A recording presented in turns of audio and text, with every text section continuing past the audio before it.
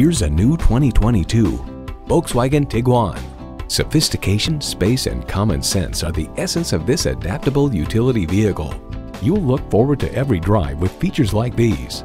Intercooled turbo inline four-cylinder engine, dual zone climate control, streaming audio, auto dimming rearview mirror, front heated bucket seats, Wi-Fi hotspot, AM FM satellite radio, power sliding and tilting sunroof, inductive device charging, and automatic transmission. Volkswagen, performance you'd expect with the precision of German engineering. Stop in for a test drive and make it yours today.